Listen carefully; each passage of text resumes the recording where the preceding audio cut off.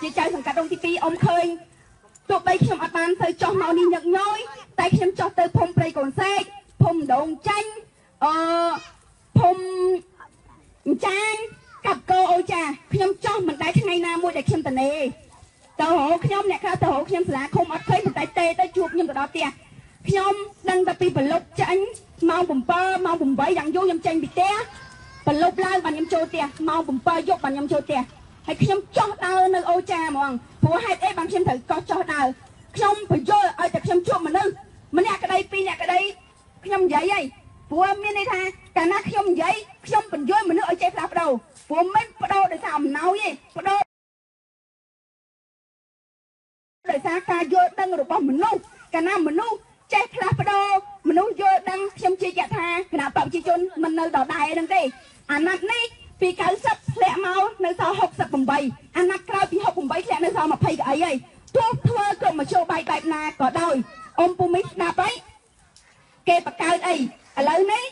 គេបង្កើតគណៈបកតុយតុយច្រើនមែនតើដើម្បីមកបំបែកសម្លេងគណៈបកសង្គ្រោះជាតិទីទៀតនេះគេក្រុមបណ្ឌិតមួយចំនួនហ្នឹងដែលគេអអន់ចិត្តមួយគណៈបកសង្គ្រោះជាតិហ្នឹងគេមកបង្កើតគណៈបកមួយផ្សេងទៀតហើយគេនឹងដើរគៀងគងបងប្អូនឲ្យចូលរួមហើយអាហ្នឹងគណៈបកតូចតូច ដែលគណៈបកប្រជាជនជាអ្នកបង្កើតហើយមួយវិញទៀតអូនស្ដាប់ព័ត៌មានឃើញសម្ដេចក្រមព្រះចេញពីហ្វុនអំពេចឆ្លោះគ្នាគេធ្វើរដ្ឋប្រហារឆ្លោះគ្នាចេញពីក្នុងគណៈបកហ្វុនអំពេចត្រង់រានរិទ្ធមកបង្កើតគណៈបកមួយឈ្មោះគណៈបករានរិទ្ធដល់ពេលឥឡូវនេះគណៈបករានរិទ្ធហ្នឹងបិទចោលហើយគេលើកត្រង់រានរិទ្ធហ្នឹងទៅធ្វើប្រធានគណៈបកហ្វុនអំពេចវិញលើកចោលលើកឡើង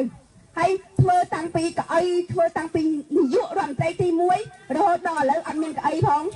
ហើយឥឡូវនេះហេតុអីបានគណៈបកប្រជាជនអូននៅតែរំពឹងលើសម្លេងរាជានិយម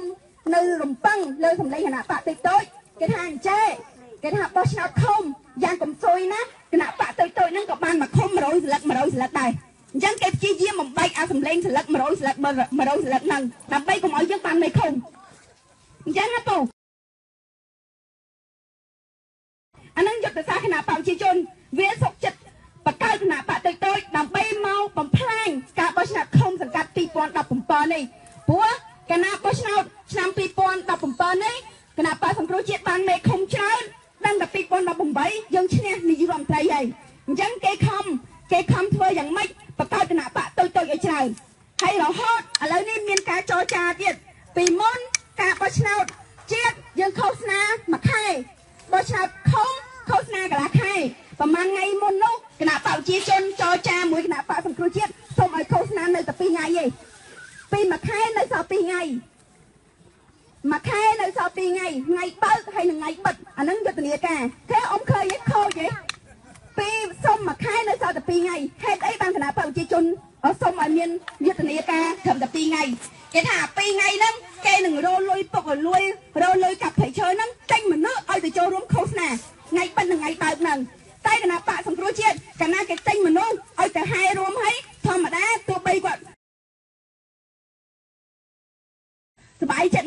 ចិត្តក៏ដោយគាត់ត្រូវទៅសិនហើយទៅយកលុយសិនហើយ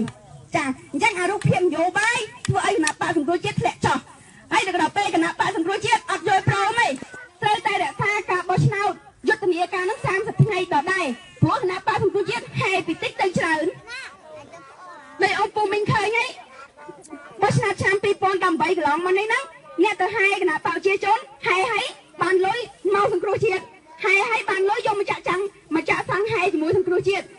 ឥឡូវនេះគណៈបកប្រជាជនចរចាសូមឲ្យយុទ្ធនាការនៅសល់តែ2ថ្ងៃទេខុសប្លែកមែនទែនមានន័យថាគណៈបកប្រជាជនលើកទុងសឲ្យស្រាច់ហើយខ្លាច់ចាំងខ្លាច់ប្រជាពលរដ្ឋបោកដោយលើកមុនលើកមុនទៀតយកលុយមកចាក់សាំងហែសង្គ្រោះជាតិវិញហើយខ្ញុំជឿជាក់ថាអ៊ំពូមីងដែលមានវត្តមាននៅទីនេះបដូរហើយប៉ុន្តែគ្រាន់ថានៅក្នុងចិត្តបដូរពេលណាឈ្នះគេទៅស្ដើយបដូរទៅរហូត3 4អាណត្តិហើយទ្រាំទៅអ៊ំយើងមិនដៃចាញ់ទេយើងឈ្នះរហូតហេតុអីបានខ្ញុំថាឈ្នះរហូតតាំងពីម៉ានកៅអី15កៅអីការគណៈបច្ចេកខ្មែរ លោកប្រធានសំរងស៊ីធ្វើជាប្រធានយើងបាន15កៅអីដល់ពេលគណៈបកសំរងស៊ីយើងបាន24កៅអីក្រោយមកយើងឡើងពីកៅអីបាន26កៅអីរហូតមានការបោកបញ្ចោ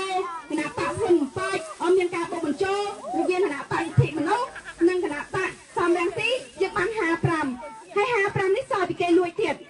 ចឹងហើយបានយើងទៀមទាឲ្យផ្លាស់ប្ដូរកោជបព្រោះបើមិនផ្លាស់ប្ដូរកោជបទេអ៊ំ